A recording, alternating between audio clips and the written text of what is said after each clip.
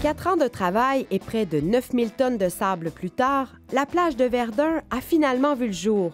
Après des décennies d'inaccessibilité aux berges du fleuve Saint-Laurent, les Montréalais peuvent enfin goûter au plaisir de la baignade.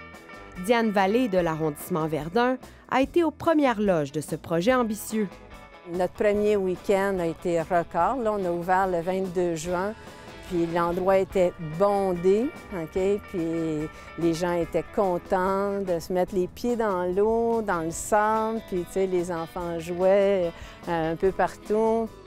Les embûches pour réussir à ouvrir la plage de Verdun ont été nombreuses, notamment réunir tous les partenaires et ministères, puis obtenir toutes les autorisations, ensuite décontaminer le site et l'aménager. Le principal défi, c'était de créer un lieu de baignade sécuritaire. OK, parce qu'il y a du courant dans le fleuve. La bathymétrie ici, là, le fond était très variable. C'était plutôt rocheux, OK? C'est comme euh, pas beaucoup d'algues parce qu'il y avait du courant. Donc, euh, ça, c'était moins un, un enjeu. Un autre défi était de s'assurer que la faune ne soit pas trop dérangée par la présence humaine. Il y avait des couleuvres brunes. On a fait une campagne de relocalisation de la couleuvre brune avant de, de réaliser les travaux, de commencer. Depuis l'ouverture le 22 juin dernier, les citoyens ont été au rendez-vous. Lors des plus belles journées de l'été, près de 1500 personnes profitaient de tout le site. Je vivais à la salle pas loin, je viens d'aménager à Verdun, puis pour vrai, ça a été une des raisons pour lesquelles j'ai aménagé. J'étais vraiment contente, en fait, qu'il y ait cette accessibilité-là à l'eau comme ça. Je trouve ça magnifique. J'ai deux petits-enfants, on vient ici souvent, on a passé tout l'été ici. C'était très bon de ne pas, de pas avoir euh, trop loin. Alors, on a vraiment aimé ça. C'était génial pour nous. C'est très bien. Il devrait en avoir plus sur l'île.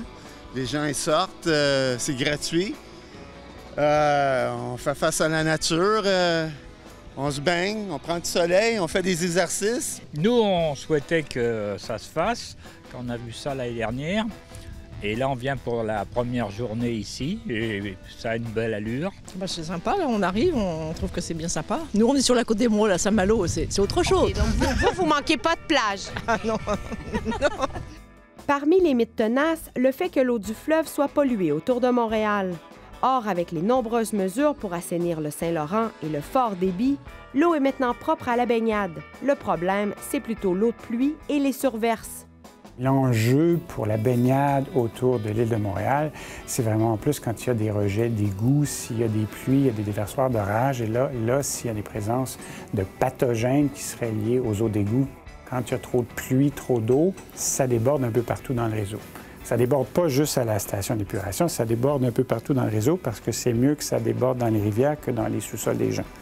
Au cours de l'été 2019, la baignade a été interdite de façon préventive durant 21 jours au total. Même si les défis pour ouvrir d'autres plages urbaines sont grands, plusieurs arrondissements seraient déjà en train de préparer des projets semblables. Encore un peu de patience et les Montréalais pourront, un jour, profiter pleinement du fleuve et se réapproprier leurs berges. Ici F. Couture, à Montréal.